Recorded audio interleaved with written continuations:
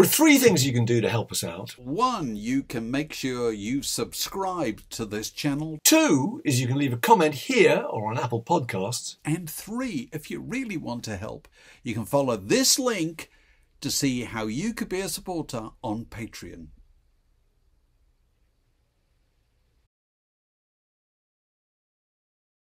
Word in Your Attic, a Zoom with a view. Well, welcome to another Word in Your Attic, where we're excitingly we're joined by the book publishing legend, the co-founder of the QI Quiz, fifty percent of the backlisted podcast, and the celebrated kind of part-time farmer, really, the great John Mitchinson. Hey. John, lovely to see you. Uh, so you're still to- farming. You, you, Uh, you, you, well, you had the big farm, and you've got know- a I small one now. in, in, in the sort of post Clarkson way of things, I guess I can say that I am. I mean, I would never describe myself as a farmer, and my farming friends would laugh heartily if the name was ever attached to me. I am a I'm a hobby farmer. I'm a smallholder at best. I have uh, I have uh, pigs. I have kept sheep, but I've got pigs, and uh, which I share with a friend, my pig partner Dave, and I've got uh, uh, I've got bees, which are you know. Um, they're not. They don't. They, barely need farming, and uh, intermittently chickens. Um, So, that's they're kind of ornamental. This is not. It's not a commercial I, thing I at all. I, I, I make what I. The reason I have pigs is I love making the best possible use of the meat that pigs produce, and I know that will be an upsetting thought for many, many of your. Um, Not, not, not, Many of your not viewers. for us. but you know, I've got one word which is bacon. I've got another word which is sausage. Um, yeah, get out of that. and that, you Yeah. know th- also it's kind of, I was having this it's not exactly an argument is it but we've in this they're a form animals are a form of technology we've developed these breeds to to eat it's just bo- bo- bottom line they, you know there are 165,000 pigs slaughtered um I think it's it's like every month or something in the UK. It's a lot of it's a lot of pigs. Maybe maybe I've overestimated, but um, they you know you couldn't just turn them loose. they, they- you know they wouldn't survive. They depend on us for their that, that would be catastrophic. yes, it would. I mean, amusing, short term amusing, like the goats of the Llandudno, you know. But um, uh, and and I do know it's interesting things like on the these rewilding projects that domesticated pigs, once you let them go within a couple of generations, they're sort of they're, they're going right back into sort of looking and, and behaving more like wild boar.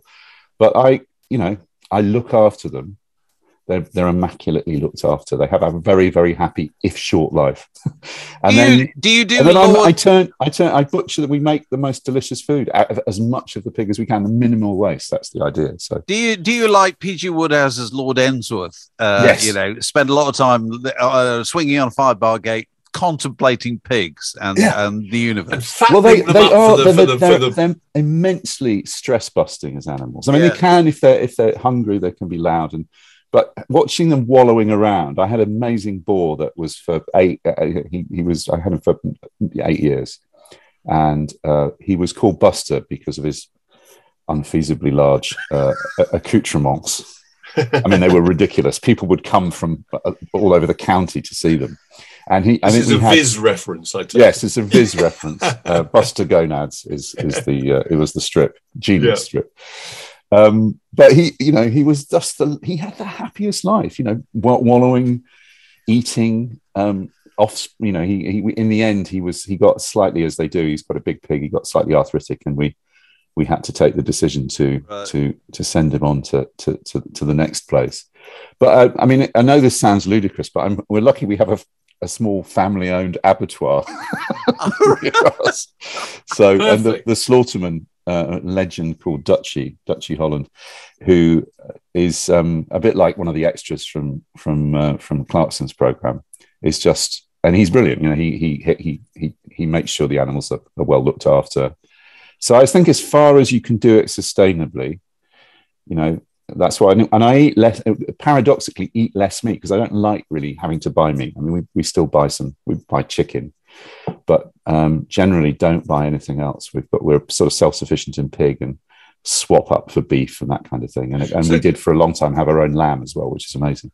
So Clarkson's farm is near you, is he? Is he one of your near neighbours? Yeah, he's literally local. That's and- and Beckham. Caleb went to the same school. We went to Chippy, the same school my boys went to. So uh, there's uh, it's it's it's very it's very local. It's very I much. can remember seeing you at a Cornbury Festival years ago when Word Magazine was uh, was one of its Yeah. sponsors, and uh, I remember the bizarre side of seeing uh, Jeremy Clarkson and David Cameron heading off to the mosh pit for Echo and the Bunnymen. I thought this is, this is peculiar. yeah, the poshest mosh pit ever. I mean, it was, it Absolutely. was known as it was no Corn, Cornbury. Sadly, not not taking place this year. Is sort of relocated from Cornbury, which is down the road, to Great Tew, but kept the name.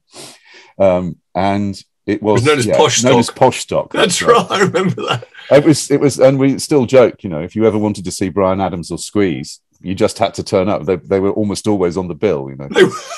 It's true. Uh, Well, it- look, we ought to go back to our traditional question uh, on Word in Your Attic, which is Do you remember the record playing equipment in the household where you grew up? And, and what was it? it And what records were playing, in fact? Um,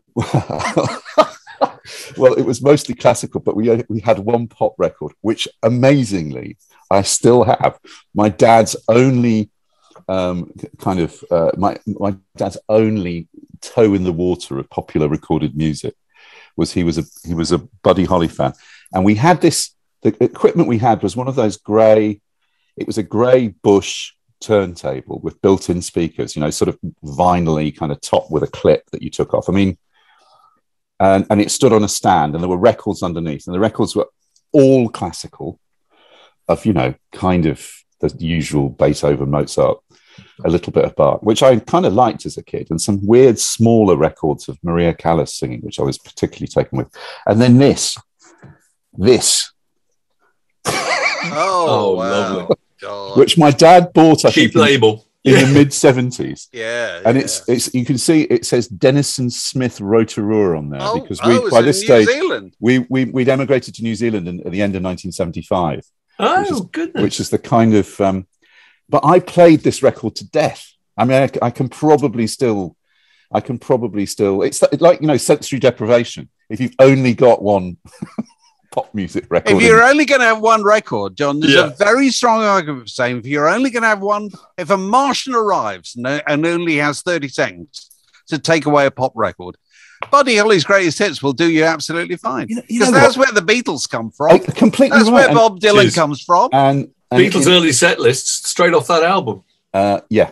I, I- I mean, and I think also he could sing great lyrics. he could do everything. Yeah. uh, do great guitar, great, great guitar licks. Um, Yeah. You know, the crickets. What's not to like? Um, which is I, that's where the Beatles got their name, obviously. But Yeah, yeah. so, So, so, you yeah, that to, was you my, moved to my New Zealand in 75. Was that Yeah. where, where were you before, before, that. You, you're going to ask me that what was the first single that you remind you remember Right, buying go. with your own money? Yeah, go on. Go on. This is this is this is really embarrassing, really embarrassing No. because it was I'd like to teach the world to sing by the music. There's nothing no, wrong no with that. shame at all. But listen, there is a there is a now I haven't got I don't own it anymore, but I still in my mind's eye I know ex- I can see it because you, you you could in those days remember you know didn't have many records had one single, and it was a Polydor. So I think it must have been seven. It was seventy two. I think 71? 71? Yeah, I think I bought it in seventy two okay, fine. because I I remember it was definitely Polydor. And the thing was that the B side I liked a lot better, which is a a track by um, Australian rocker Pete Doyle, who was one of the New Seekers, called Boomtown, Oh. and it had it had sort of it had a bit of bit of a hand clap. It had a quite a sort of raunchy guitar riff. It kind of it was the first time I really remember. I, I, I'll come back to this, thinking "Uh, there's something about this is this what I like. I like this, and then '73 happened, and I don't I, again don't have any of the singles, but this was I don't know if you can see that. But- Oh, Is it Dave Hill. It's Dave Yeah. Hill. It's Dave Hill. Dave Hill with admiring girls behind yeah, him. one of them yeah. is his wife. One of them is the the girlfriend of um of uh, uh, or the wife of Don Powell who died in the car crash, and then one of them is the person who's actually made that ridiculous outfit. So I In, i- became in his defense, briefly, Don Powell, I don't think died. no, he didn't. No, but the his Don wife, girlfriend Hadley he was saying, you know, he said to his, Oh, he his said wife, girlfriend. His His girlfriend. girlfriend- Sorry, his girlfriend I'm sorry. all yeah, died in the in the crash. of But if it was a, it was, but that was the year I think they had they had an unfeasible number of, and that was it really. I, I, I the next single I bought was Metal Guru by T Rex, which is quite that's quite an arc, don't you think? From I'd like to teach the world to sing, Well, yeah. but I think So you had a Slade period that's me. too. that's though. my. T- I've um, somebody once said your taste is so broad as to not constitute taste at all, and I kind of feel I feel quite proud of that. I, I- Yes. I, Yeah. can enjoy almost anything. I mean, almost anything. You know, Yeah. probably not. Probably not the floral dance. You know, or or or the Smurfs or any of those other things that were happening in the seventies. But But you had a Slade period too, then. yeah, I mean, that was very much sort of before we left for New Zealand. Uh, school disco 73, 74, when I was on that cusp of going from primary school to to big school, as we used to call it. Uh, and this was in Banbury in Oxfordshire, which is very near where I, I live now. So I've Yeah. still got the kind of, yeah, I mean, it's, it's, and uh, yeah, uh, Slade were, Slade were everything you wanted when you were 10, everything. I mean, the, the way they, they were great. They were, ma- I mean, you remember Top of the Pops was everything in, in those Oh, days yeah, yeah.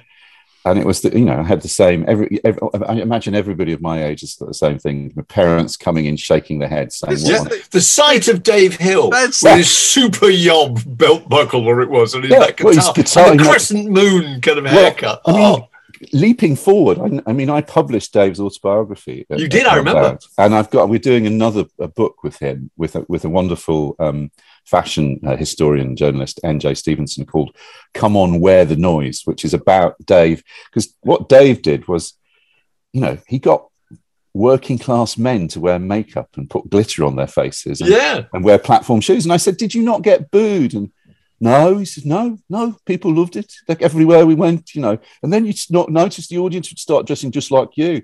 And and I was thinking the whole thing about platform shoes, which I was desperate to have, you know, and you'd be measuring, are they are they are they, are they high enough? Yeah. It was that was all driven by top of the pops, I'm guessing, you know. Um, yeah, it would be. it would be. And because the thing about Top of the Pops, key thing is you watched it with your parents, whether you Yeah. wanted to or not. But actually, if you so- didn't watch it with your parents, it wasn't as much fun because it was It the was really- tension. It was the, the tension. tension. of, Is it a boy or is it a girl? That's But what al- made it al- so. also, they would have, there would be an appreciable number of acts on Top of the Pops that they would like Yes, because the chart was Brotherhood of full Man. of stuff. the new seekers, yeah. Yeah, Just Brother and Man. anything. So Anything that was popular in the country was on Top of the Pops. family King Donald. dy- your family dynamic is right there in front of you isn't it this Yeah. is this is Yeah. a, a kind of you're, you're wanting you're wanting to like some of the things your parents like because you're still too young to feel that you can make the break but you're getting completely seduced away by this by you know people behaving badly and um the other thing about it is it, it, it seemed to me that top of the pops people forget now because people watch the top of the pops too Yeah, yeah. and they think it was one continual sort of parade of amazing 70s music. the same songs were played week in, week out. Uh, They were, most of Top of the Pops was quite tedious because you'd already seen them. And again, what Dave says is that that was the reason the outfits is that, you know, if you had an, a number one record, you were having to go into Top of the Pops on a weekly basis and you couldn't let the fans down. So you had to come up with something new Something different. his yeah. his his great line, you know, to Noddy and Jim was to say, "You write them, I'll sell them." That's great. so, how long were you in New Zealand for? So I was in New Zealand, formative years, uh, seventy six, and I came back in in in at the end of nineteen eighty. In fact, I was I was in a Singapore hotel on my own for the first time on a s- s- um, stopover, going coming back to the UK to to have a, a gap year, I suppose, as you'd call it. Then I don't think we had that. I think they call it OE in New Zealand, overseas experience. so, was that kind of time And to John travel? Lennon, uh, John Lennon was shot the night I was in that, and I Oh, was really? desperately trying to figure out. I could see, I couldn't work out what had happened because I couldn't find an English station on the. Um, so, uh, yeah, that was a that was a kind of that was a watershed. But Can you um, remember seeing any band? What, what, what was the first group you ever saw? That, that, that would have been before New Zealand. Yeah. Um, I saw again slightly shameful. I saw the Glitter Band in Banbury. Hey! in the I saw winter- them too. in the winter in the Winter Gardens, and they were Two drummers. they were great. I think I don't know quite what happened. Had Gary floated off at that point, or I don't know. Anyway, they, they, They were- went they- off and made some records on their own. They did. Some, some which are quite good. I've still got their album Hey. Yeah. Is, So that was the first. That that was the first, and then bizarrely, uh, when I went to New Zealand, the first the first live gig I saw there was Osibisa. Oh, So, right. Christ, um, amazing. I don't know. I think there was the Rotorua didn't get many international acts coming to visit, so we all just went to it, and we're actually it was, Yeah. it was pretty. It was it was a fun filled evening. Do you remember OCB's um, kind of tagline? Do you remember this? He No. used to crisscross rhythms that explode with happiness. That used to be the line that used That's to use- good. They did. To be They honest, used it on everything. That is a Ne- pre- very precise description of the evening that we enjoyed. But then, I mean, I, what happened? I moved. We moved to Auckland, and then punk happened, and then everything exploded, and that was. Um, and I've just, I've just texted you. I, I, I, I, we formed a band at school. I've just texted you a couple of grainy photos of. Oh, so you so, have. It's so embarrassing. The chartered accountants is what we called ourselves. Wow. We came second. That's a good name. We came second to a mime act, in, mime act in the school uh, in the school talent show. and we played a few gigs and wrote a few songs. I found, um, I, I, I, I, I- well, I didn't find, but I, I, I, um, I. te- Are you the uh, singer? Yeah, I was the singer, and I wrote the terrible lyrics. Our first song was called "Middle Class Twats." Oh God, this and is that- brilliant because we just had Robin Ince on the other day. Robin Ince could remember his entire set list, couldn't he, Dave? He pretty much performed the whole show. We did Go- Give us a taste of one of your songs. Well, "Middle Class Twats" was um, was was basically did uh, was a, a kind of a song lambasting the middle class girls who who refused to have anything to do with us in the There class. go. So you and your problems can sit and rot because you're all just middle class twats. we had another song called "Social Failure," which was, uh, I mean, again terrible. But the the one I really remember. I love the idea that The it's, one I really the fault is with them for not fancying you. I can't- That's right. How can you not fancy? but the girls all loved it. Yeah, I remember. I can still remember silly little ribbons in your hair, and when we, yeah, and well, you don't care. Yes, it was you, use the usual rhyming scheme. But I wrote one which I, I thought was was beginning to sort of move towards. There's a sadness in this, but I can't remember what we called it. But the, the opening lines were, um, "Now Johnny's gone and Sid's in heaven. We've got to stop living in '77." the, the basic the basic routine at weekends was we'd go to parties and I would have a plastic bag with these two records in it. Oh, wow. Yeah. God. And that was basically you'd come, you'd take whatever shit was playing off, and you put these records in, you dance uproariously. Um, and I, I, I mean, that was, I mean, so rude, so It arrogant, is so rude. so Incredibly so- rude.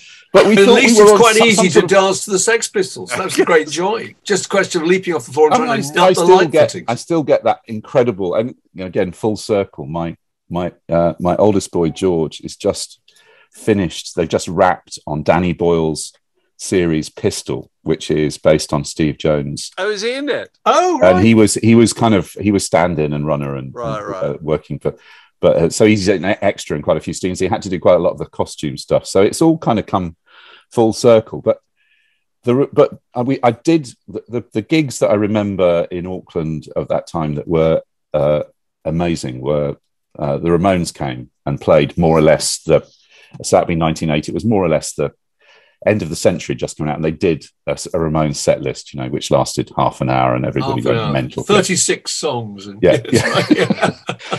Um, and this, the Ramones had humor, which I now, looking back, I see was kind of important.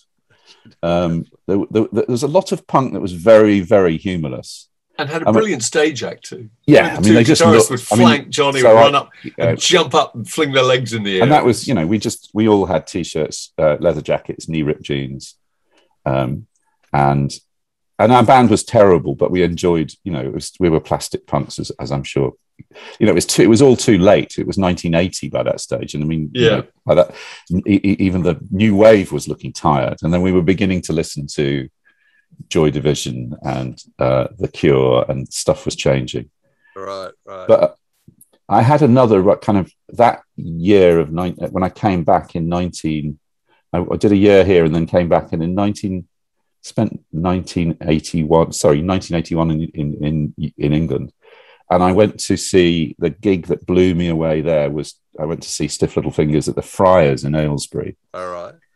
and they were supported by this band with a really annoying lead singer with a high voice called U2 I mean really annoying Did you Um, like them?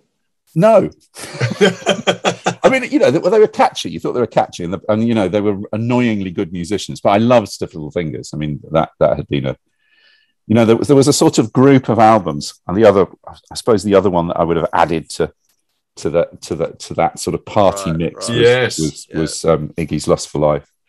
That was a very good start. One for of the best use uh, uses of uh, of uh, of pop music in any film. I think the, the opening Brilliant, of yeah. Trainspotting is phenomenal.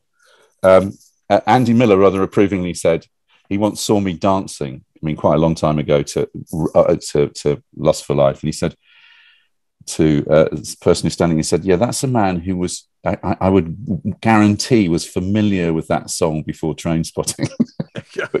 which is kind of which is true. High praise from from Miller. Um, Absolutely. the one bit of the one bit that I could find, and this gives you was um, the one ticket I could find was this. Oh wow! oh yes, Now, this Main Street was a really small club, so a lot of the bands that would so come, this is in New Zealand. We're talking about. yeah, a lot of the okay. bands that would come would play in these quite small venues because Mhm. there was one radio. St- st- it was the John Peel equivalent in New Zealand was a guy called Barry Jenkin, and he played a, a, a kind of a two-hour show in the evenings on like like just like Peely on Radio Hauraki, and all of the interest in new music, you know, from kind of 70s sort of John Cale through to uh, through punk through th- through to you know as I say Joy Division, The Cure, all the all the kind of cool and interesting stuff. So, and I I mean I went I guess I went through yeah I went through I was pretty we were we were very narrow. I mean that period we were very narrow, and then it started to kind of fall apart a little bit because secretly secretly we all still had we all st- still had uh, things like this at home. Oh, of course.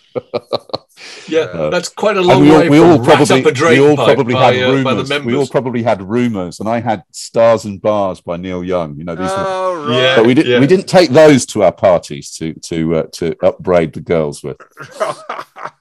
Um, yeah, it's it's it's. I, I I then went through a, I went through. I I, I guess I came back. I went through a big um, Roxy music phase. I mean, ten years after Roxy had been huge, but I remember finding Roxy were almost too weird when I was ten. You know, in the way that Slade words.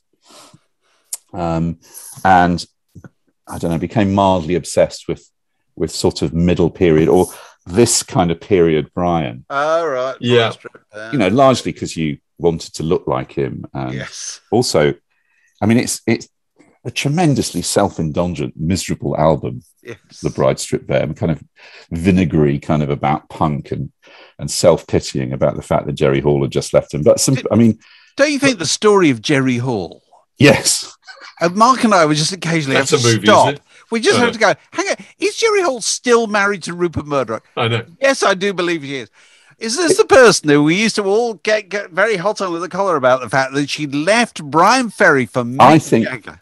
I think we should all write a letter to Craig Brown and say the subject of your next book. That's Oh, that's good. Yeah, Jerry Hall. I mean, because it's the whole of the late 20 and early 21st century in in one strange. God, it is, and it's in But the it's dizzying upper echelons as well. But it's also like the 17th century, the 16th century, 15th century, because beautiful woman needs patron. You know what I mean? That's and you're leaping from one wealthy man to another yeah, and the- throughout the know, life. Or in fact, wealthier each time. Yeah, absolutely. Do you I mean, remember when she left I've Mick got- Jagger to go with Robert Sangster? Do you Yes, remember Robert? Sangster, I mean, I can't believe that when you think about it. I mean, I'm expecting the announcement about Bezos or, or Yes, uh, yes, absolutely. any time now. Yes, completely. absolutely. She's going to the moon with Bezos. there you go. Good work from her. Oh, Oh That's good. sorry, I uh, sorry, I just no! well, occasionally I- have to rem- I have to pinch myself and think Jerry Hall's married to Rupert Murdoch. It's extraordinary. Yeah, I know when you see pictures of them together, I'm afraid to say it is very hard to uh, to you know, suppress a smile, isn't it? It is absolutely absurd. oh God! So the- come on, what else have you got? Have you Yeah, got what, what else stuff have I got? I, so in 1982, what what happened? I told you. Well, I had my Brian thing that was going on. Yeah, I, yeah, yeah, I became yeah. quite obsessed with with Roxy music and and and and listened, you know, to all of the albums. Then I got. A, I, I, this is not really a, this is not really a, a pop music thing at all. I, I think I've oh bug it, I've left it downstairs. Uh, um, I got I got obsessed with the soundtrack to Last Tango in Paris. I've, I've actually got the record, and I I was um, I'd been to Europe, so I would kind of and I was working in a very cool place called John's Diner. Um, I was only one of three Johns working there, and I wasn't the John who, who set it up, who was an artist. But it was the beginning of kind of cappuccino culture. And, and you imagine in Auckland, that was pretty exotic. And I was living in this amazing art deco flat in the middle in the middle of Auckland, looking out over the harbour, and we paying next to nothing for it. And because I'd been to Europe and I, you know, I, I was trying to grow a mustache and I had a, you know, stripy t-shirt, I would I would play the uh, the soundtrack to Last Tango very loud, open my windows and play it very loudly. But one of the things that that sort of What was on it? I can't remember. I remember. was trying to remember. Uh, Yeah, with the, with, it's, with the, um, it, it's it's basically it's Gato Barbieri, and it's you know and there's an accordion. It's it's it's weird. It's French music mashed up with uh, with tango music. Um, and maybe I don't know. I've, I've I, after at some time after that, I became enthusiastic early adopter of what is now called or was then called world music. And I've always liked I've always liked kind of discovering new weird sounds, usually to do with uh, people singing and strings and occasionally drums. But there was a jukebox in the diner, and that really, I think that had an, you know, if you listen to music over and over again, you get to, um, and there were some things on there that completely blew me away. Um, I've got a number of, I stole, I stole a, Oh. a stash of them when the, Oh, when the that's an, diner old, closed. that's an old HMV single you held up there. Yeah, His well, master's voice. yeah, so um, ne- this brilliant, uh, brilliant Jackie Wilson single, "You Were Made for All Oh. My Love," which Oh, is yeah. which is again, I never heard of Jackie Wilson, and then it was the beginning of my big. You know, I, I was I was not going to parties in 1982 with my Ramones and Sex Pistols in my plastic bag anymore. I was starting to cultivate. I like to think a more um, a, a more interesting, more, more uh, t- but Well, discovering Dexys was the passport to, Oh, to, De- to, uh, And to I- Jackie I- I- Wilson for a lot of people. wasn't? And you remember, of course, the famous Top of the Pops, where the, Yeah, the, yeah. the Jocky picture, Wilson. the picture of Jocky Wilson was Jocky up. Wilson. Staggeringly fun. But all And my the- love was with the ridiculous descending chords and the orchestra and this amazing voice soaring over the top. So Yeah. I, I, I got then completely different, a very old, amazing version of Desafinado by Stan Getz. oh with a wow. Yeah, I amazing, know that. I know amazing that. rhythm. So Yeah, yeah, yeah. this is all part of. I've been to Europe. I am sophisticated. I can listen to jazz. yeah. Yeah. Which kind of. Um, in the same vein, Vic Damone, um, Oh, wow. Luna Rossa, which Oh, you know, didn't that. It's just a, a, a- just a, one of those beautiful, like, corny Italian kind of, you know, lots of This is educational things. for me. Was Coronet a, a New Zealand label? Uh, well, you know, I'm looking. Must have been. I'm looking. I I've guess never it must of have been. Yeah, Yeah. it was a division of Columbia, apparently. Oh, okay. Yeah. New Zealand Limited, yeah. Philips Electrical Industries of New Zealand Limited. There so a you go. lot, a lot of my records are New Zealand, and then um, and then just totally this brilliant single by Ray Charles, "Careless Love" on one side, Oh, and "You Don't Know Me" on the other. oh you this don't must have know. been a fantastically hip cafe. You Oh, in your I striped mean, t-shirt, nine- growing your moustache, playing a Stan Getz 1982, record. I mean, For the moustache. 1982 in Auckland. I mean, that's Yeah. amazing. But the the book, the one record, the record that absolutely blew me away, and I don't know if you, not a lot of people know it, and it's it's it's 1968. It's the B side to "Dance to the Music," which everybody knows. It's "Let Me Hear It From You" by Sly and the Family oh, Stone, which starts with this. It starts like it sounds like Sly has has fallen onto a Hammond organ. It's an amazing kind of discordant and then it builds and it builds and it's it's a, a song of male kind of male coercive control you know where we what, what did you do last night you know it's it's, it's, it's the kind of the but it's brilliant and I, that and i think there was also i think i also maybe nicked a, a, a kind of a um uh, uh, there was a couple of Aretha singles on there as well. So I started to listen seriously and to to um, to soul, and then and then I got completely obsessed with blues, and I, I my, I my my musical taste taste kind of expanded and, and Which developed. particular blues artist? Um, I, I mean, I'm muddy waters all the way. I just, I, I, I, I've got a lot of, you know, I did all the Paul Oliver story of the blues stuff, which is great. There's a, there's an, Yeah. some amazing uh, archival stuff, but I just love the, I love the guitar playing. Um, I love, and you know, I think, I still think that those the the two great I'm a Man and you know Hoochie Coochie Man. They're phenomenal. I mean, there's there's just every time I put them on, I still get the same jolt um, that I got the first time I listened. Can you still, do you know about this? Can you still get Paul Oliver, the large format story of the blues? Because I don't know. I haven't seen no, he years. amazingly he turned out living literally ten minutes down the road. I went to see him give a talk in a little village hall. How long ago I- was that? I- I, I don't know is- anything is like- about Paul Oliver apart from the fact my flatmate had that book. And we used to sit and look at that book again and again and again. All those amazing old pictures. incredible, incredible. And you know the, the the accompanying double album is amazing. yes. Uh, Then I went through. I, I went through. I would say that was around about the time, eighty-two, and then coming back, I went through a, uh Elvis, Elvis- Elvis sort of stiff period. right. Dave Edmunds. Then these these I was, Nick Lowe, Cruel to Be Kind. I mean, these are still. I still play. I still play these. Now I've got to turn. That was a really golden period, though, wasn't it? Oh, it was amazing. Uh, whole wide world, Wreckless Eric. Did you ever Um, see any of the stiff tours? No, you're probably still out in New. No, I was- yeah, I did. Yeah, And I, I, I've seen, I've seen Larry I've Wallace, a Rachel Sweet. Yeah. amazing. Um, but that was sort of, that was, I guess, that was really where my uh, that that year of of listening to, and I, I kind of, uh, what, what happened then? I, um, yeah, I mean, I, I I became a huge Elvis Costello fan, and that was uh, one of those albums I play every night going to sleep and every morning when I woke up. I, I know, I, as I discovered when Elvis played at Cornbury, um, and I was the only one singing along. He played quite a lot of weird back catalogue stuff that day, you know, um, particularly songs off that album.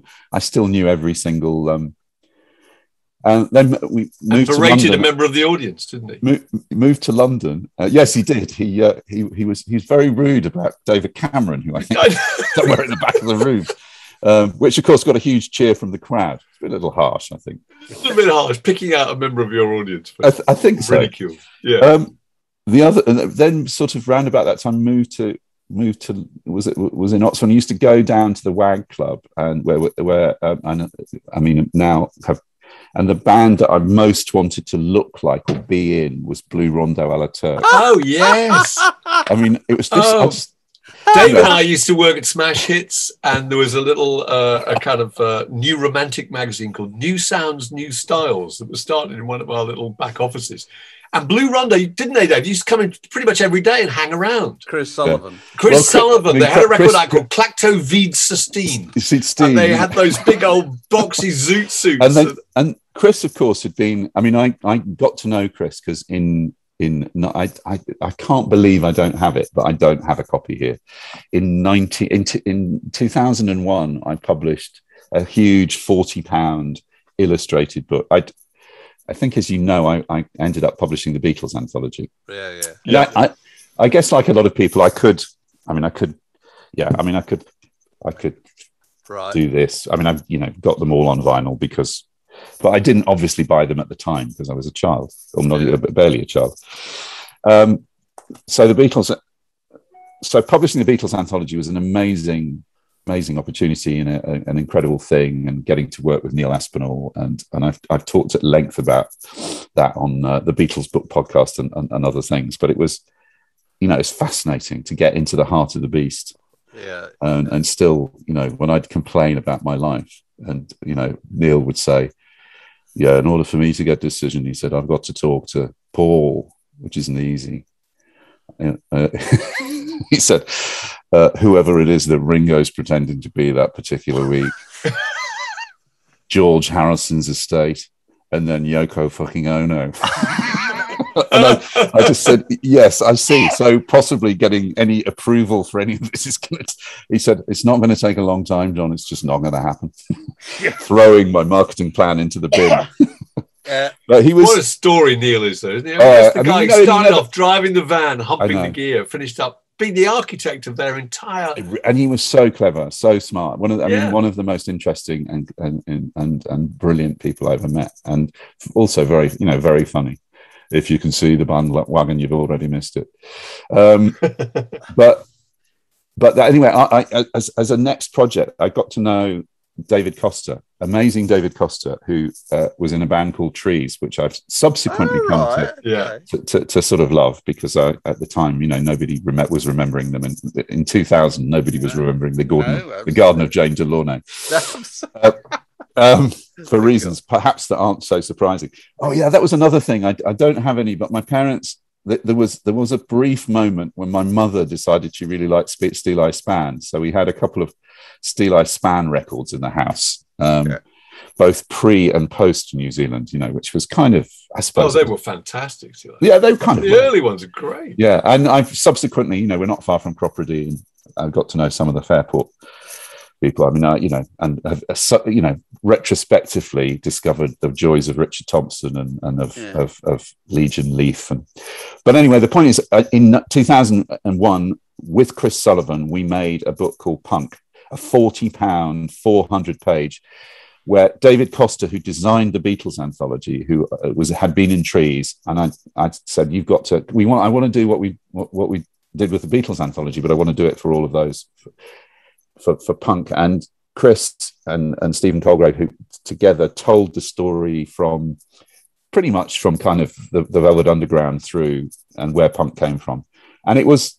I mean, it was amazing. We did. I mean, it, it didn't sell as well as the Beatles anthology, but I'm incredibly proud of it when you see it now. It's a perfect kind of mad moment of its time. You know, this beautiful, Mhm. big coffee table book. Punk had, it was punk with a full stop. We thought we felt that was extremely important. yeah, yeah. Um, anyway, I got to know. I got to know Chris incredibly, incredibly well, and he's still a very, very good friend, and still had, and still, you know, he's still out there doing doing it, doing his Soho radio shows, and. But uh, yeah, uh, in 1980, in 1983, I wanted that's that was that was the look I That wanted. I look. came nowhere, nowhere near. Let's be honest.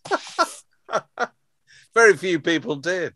Well, all Yeah. you needed surely was a zoot suit, wasn't it? Uh, yeah, some- suit, and, uh, element. amazing dance routines. They were, they were, they were, and I, I think I, I'm not sure, I'm not sure how many shapes Chris is throwing these days, but, um, but he was, you know, they were incredible. He and Christos were incredible dancers. I mean, they'd kind of come up through Wigan Casino, Northern Soul, Yeah, so they were, yeah, they were- yeah, yeah. it was, it was that like, almost a sort of vaudeville thing. Yeah, yeah. Uh, and I guess that was that's the kind of that that period eighties college go, going to London didn't go to see as many gigs and you know then you know had a kid by 1989 so um but what still were the kind and of bands was, you were seeing at college? um well I I was at Oxford so to be honest there, There were very I- few I, went venues. to I went to uh, I went to early Radiohead gigs, and I went to there were there was another band that we liked better than Radiohead called the Candyskins. It was the Who- Corn Exchange, wasn't it? Yeah, and the, it- and, and, and the, yeah, there were the, the the what was called the Apollo. I, don't even know if it was called the Apollo. And there were there were a couple of good venues, yeah, and then we'd go down, but we go down to London, and I you know we generally at that stage you'd be going to clubs rather than see. I, I was going, what was I suppose clubs rather than live bands. Um, so, um, and I, I, when I moved to London, as I say, I became kind of, I started to buy, I started to become fascinated by music from other cultures. And um, I brought it upstairs, but I probably didn't. Uh, um, there was a shop, I can't remember what it was called. There was a shop called um, uh, Sterns? Sterns, yes, Sterns. That's exactly right.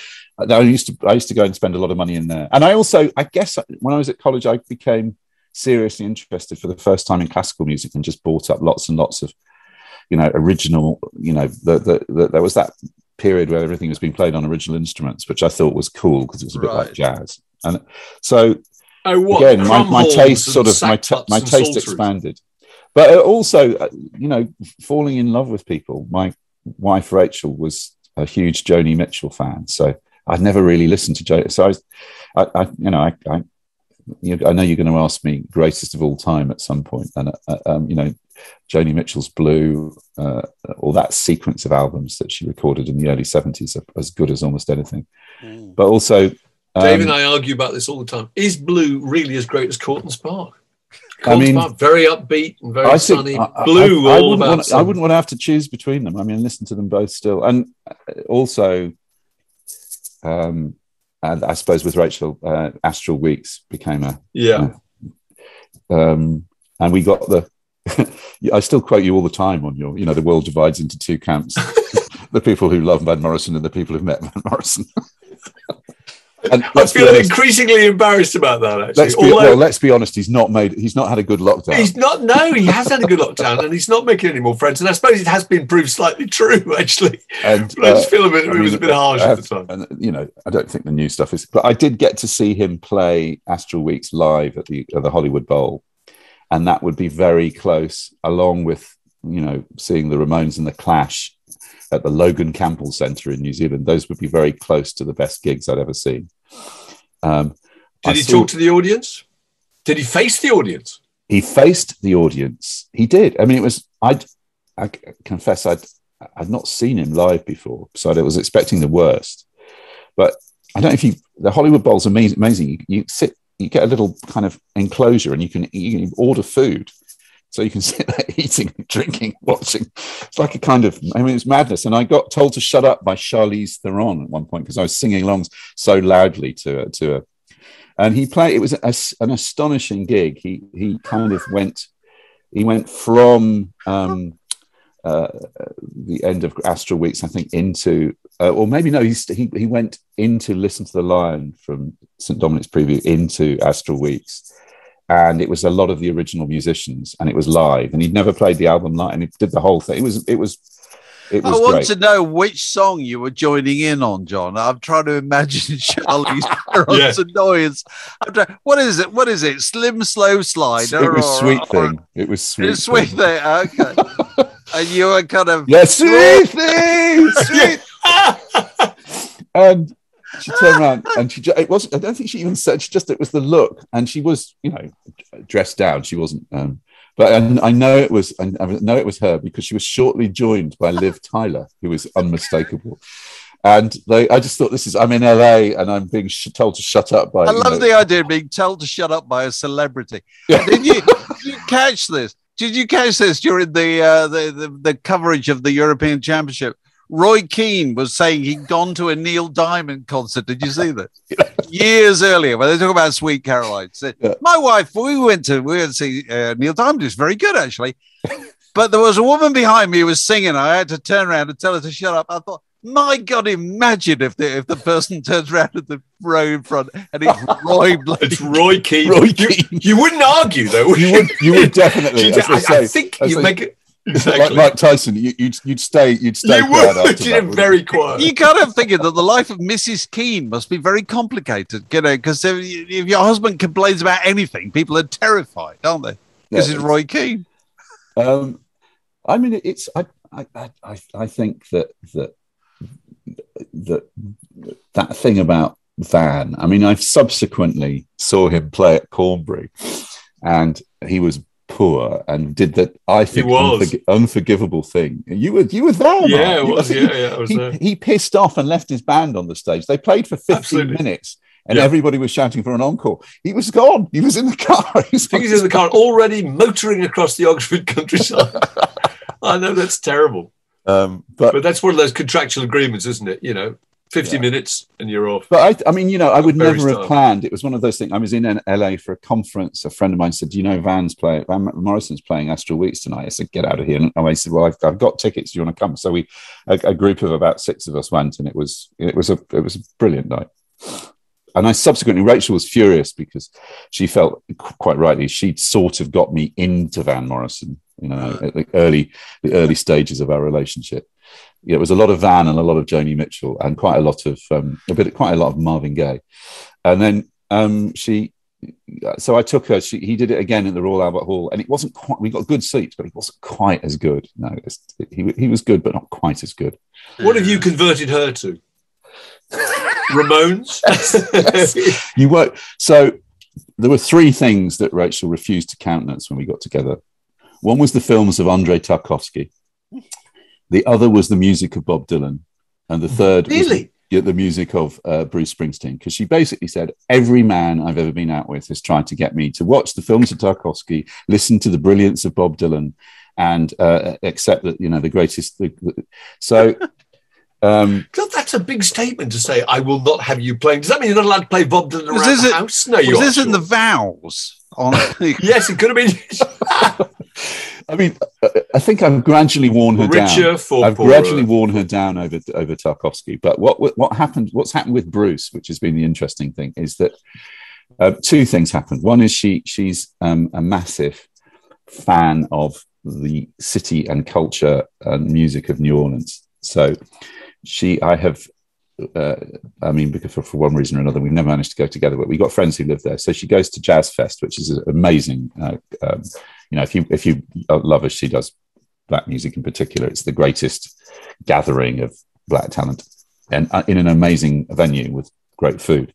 Anyway, she went a few years ago, and Bruce played, yeah, yeah. and she was very resistant. But my friend Gordon said, "No, you've got to come and see him. If you've never seen him, you got to see him." Anyway, she she softened somewhat after his three and a half half hour magnificent set, and then my friend, her, one of her best friends, is a is a great Bruce fan, as I am. Um, and that Bruce theme, I think, started. Yeah, that was probably New Zealand, and I never got, I never got to see him. Like, oh, I did see an amazing ELO gig uh, in in New Zealand, uh, which was, I mean, completely brilliant. I, I'm, a, I'm a huge ELO fan. A fanship I share peculiarly with. You know, about the only person I can really kind of geek out to ELO is Jonathan Meades. Jonathan Meades, Right. Oh, polymath Yeah. filmmaker. Uh, he's a massive. In fact, for a long time, Well, ELO referred- have been a major fixture on Word in Your Attic. Yeah, haven't they they? have. The number of people, partly because I think it's people who- Everybody who, likes just it. want, everyone likes them, and they kind of think it's the sound the Beatles might possibly have made if made they if they. going. If, so yes, there's a sort of an element of that, I If, if you take the Napier Bell thesis that the Beatles never became a rock band, if they had become a rock band, they wouldn't have become Wings. They might have become ELO. Yeah, yeah, yeah. Ah, discuss. Love it.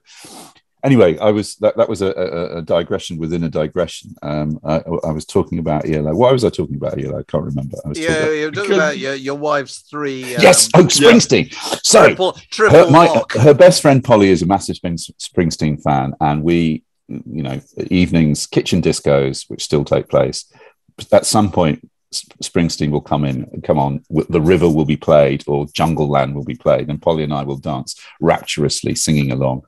And I think this is sort of touched Rachel to the extent now she kind. And then I we listened to one, uh, one um, coming back from her mother's on the Isle of Wight. We listened to the On Broadway album, which is him singing and telling his songs. Yeah. Very, very, you know, fireside sort of chats and teeing up. And you know, the charm of Bruce and the kind of the kind of brilliance and warmth and, and sincerity and all of those things, I think can she's kind of I, I wouldn't uh, no I wouldn't say that she would say that she was a, a fan, but she's kind of you know she's definitely whereas the small progress I've made with Bob Dylan, which she will never, she would never listen to willingly herself, is that she, when people were asking what they could buy me for my birthday at work, and she said, "Well, he's got this new turntable, which is I finally got vinyl back into my life this Christmas. My family, I hadn't had vinyl since 1993. I kept all my records, but had nothing to play them on for one reason or another. So they bought me a, a new system, amp, marvelous speakers. So I've been, I've Oh, been must- listening to old music joy to reacquaint yourself. Oh, it's just, I mean, all of these old singles. It's just Yeah. all, with all the pops still in the same places. Absolutely. The Anyway, with um, Dylan is she, that Dylan's she, not. she got them. She recommended two Dylan albums. She said, "Buy he like no, I will never buy them for him, but he likes them, and he hasn't got them on vinyl." So they did, and I she she was she didn't leave the room when I played them on my birthday. And, um, See, so- here's the funny, here's the funny thing, and I mean, Mark and I particularly have been professionally involved in doing exactly this for years and years.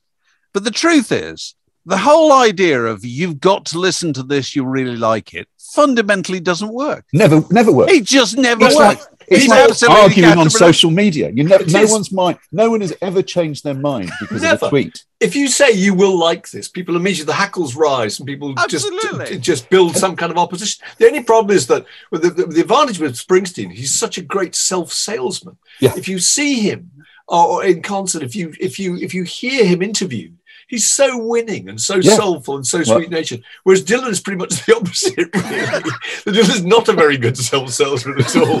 Did you No. watch the Shadow Kingdom thing the other night? By the way, No, was it? Uh, uh, Yeah, that was really good. Yeah, really I know, I- it was- got a, I've got- always. I mean, it's it's. I did I, I, I did love the uh, Rolling Thunder Revue. I mean, that mad long Scorsese Dylan um, brilliant. was just absolutely.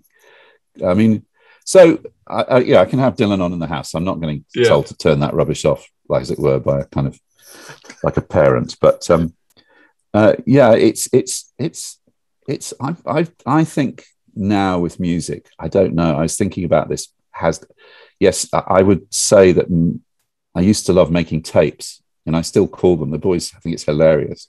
Oh, I've got that on a tape.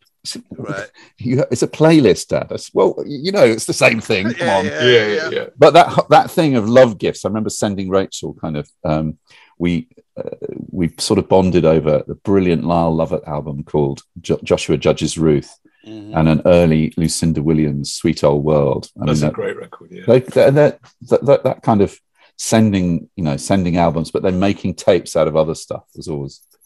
And I still, I suppose, I still make, I still make, I like, I like making play. I still enjoy making playlists, but I, I find it very, I don't know. It's just, it's so great having, having. I actually now enjoy getting up and ch- change, turning the records over again. And Yeah, yeah. I mean, I don't know whether the sound is any better or different. I, I feel it is, but that The might just- ceremony, the ceremony's better. That's the point. You're connected to it. You're engaged. You're part of a whole procedure. you know, aren't I, I, because of the greatest, Like reading a uh, book. because of the greatest album question, I went. and I was thinking. I was looking at, uh, at what's going on, which would be right up there for me. And uh, there's only three tracks on the B side. on the set. Yeah. Well, I mean, pr- yeah, yeah, yeah. side, it's, you know, whatever Yeah. it is. Yeah. You forget, you forget, and you realise how how though that architecture was really important. Knowing where songs came in the album and knowing what was, you know, it's it's. Um, I, ha- I have, don't think I've got it anymore, but I think "Dazed and Confused" is a whole side on uh, the song remains the same double EP live Led Zepp. Uh, you know, those are the days. I can still hear tracks and immediately hear in my head what the next track should be. Yes, You hear them in isolation because you're so Can used you to re- hearing them in that sequence. Yeah. But can Yeah. you remember the interesting quiz? Can you remember the opening tracks of second sides? Well, for instance, I'm going to try you on this live. I think Mark knows the answer to this. What's what starts the second side of Sergeant Pepper? Oh, it's the it's the George Harrison. Um, It's within oh, you it's without within you, you without you. which is a Yeah. Within You really Without You. unusual Very, way to very start unusual a way to second start. side. Yeah. yeah. Because normally they would have plonked another another kind of um, toe tapper. Toe tapper. Yeah. Um, But I mean, it's I'm I'm I'm, in, I'm my son's doing music production at Bristol, and he is you know sort of like synth, but he, you know, he absolutely it's all vinyl. They're buying, they Oh, buy yeah, everything on vinyl now. absolutely. Extraordinary, which is great. I mean, great. I mean, I've got my youngest boy's a massive King Gizzard and the Lizard Wizard fan. He's and they seem to produce about twenty albums a year. Well, this is what they all do Yeah, nowadays. there's a Yeah. stack of these It's crazy fine- uh, coloured vinyls, audience. and they all sound just- vaguely the same. But I mean, Yeah, we great. but they know that bit there are like- people out there a bit like the collecting. fall, you know, it's a bit like, Like, the you know, Fall or the Grateful Dead. You've got Yeah. to have the lot. Yeah, exactly. So. John, John, two questions Go on. to end with. One, since the sad death of Dusty Hill of ZZ Top, did you not get the call? Surely. no? Did anybody talk about that? Just as a stand-in. Well, I mean, Yes. also, well, yeah, it's a, it's, a, it's a sad, it's a, sad day for music, I have to say. And they're such a great band and such a great look. And uh, Wonderful. this is- I have to have say, you ever, just- have you this ever is been to. ZZ? this is just. Um, yeah, I mean, I, I get Rick Rubin, or sometimes when my beard's smaller, I've even had Kenny Rogers, which is I don't know. I kind of I I- still have a, I still have a soft spot for for for kind of you know seventies Kenny Rogers, but But you, did you ever go to a ZZ Top show? And were you ever them. in the front row? Oh, I guess because that would have been a joy if you'd gone have in the front row. Would- you would have been signing But you could autographs. look- Like I Morris did- I- the closest I've d- got Arrived to on a buffalo. a beard off was I did I did interview interview um, Brian Blessed once. Where Oh, right, right. in the end, I just I rather theatrically tore my uh, question sheet up on just let him go. Yeah, yeah, yeah. yeah. let him go. He did. He did. Uh, he did what's it? What's the line? I've, I've blanked it out through horror.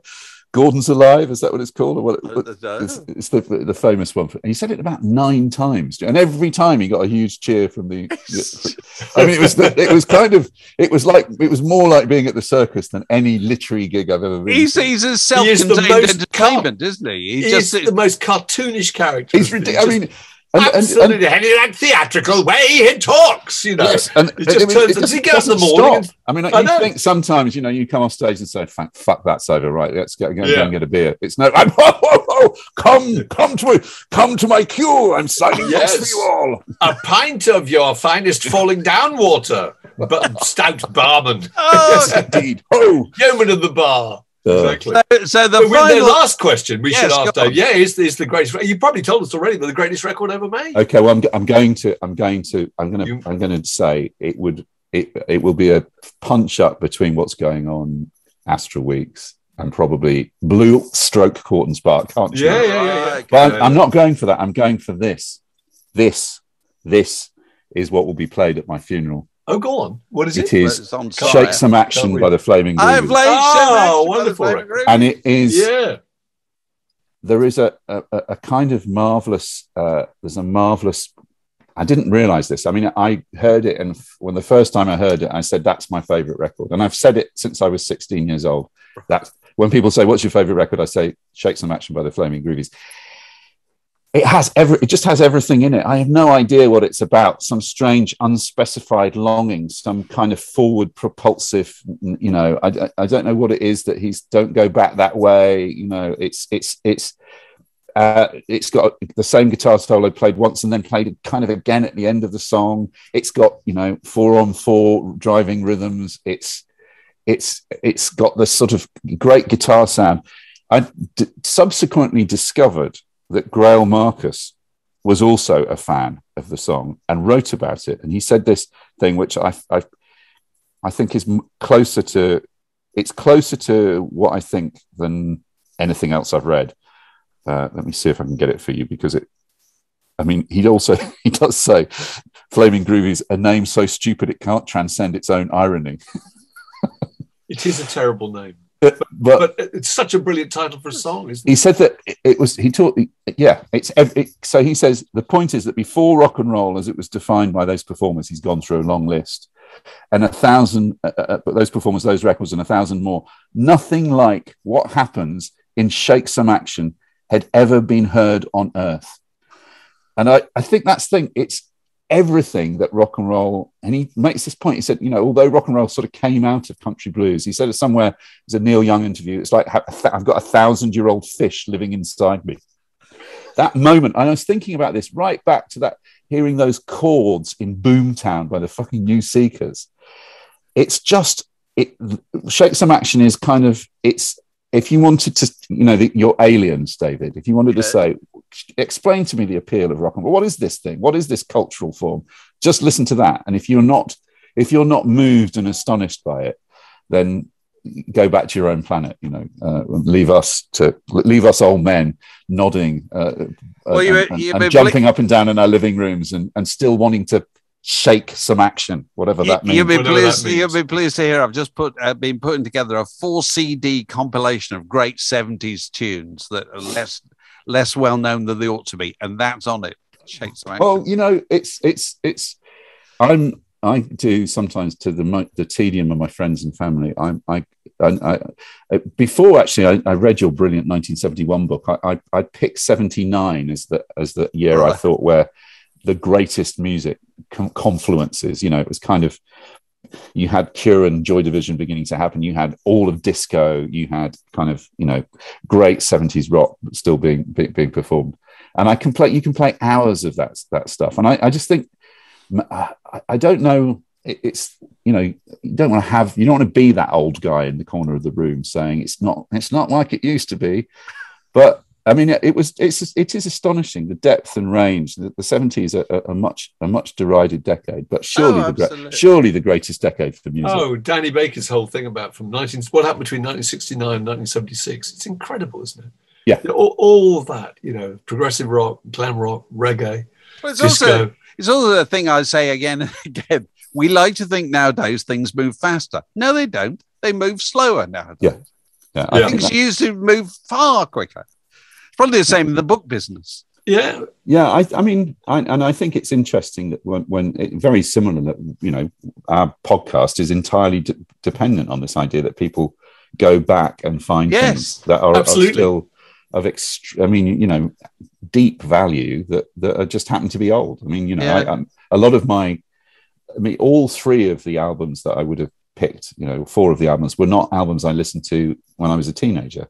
I discovered those later through, you know, through life. It's a bit like the way that your sort of brain changes and develops as you as you live. I mean, I think your musical taste does the same thing. Yeah, no, But sure. there's something about there's something about Shake Some Action that Oh, for me there is is. just That was so well, so well expressed too. It's fantastic.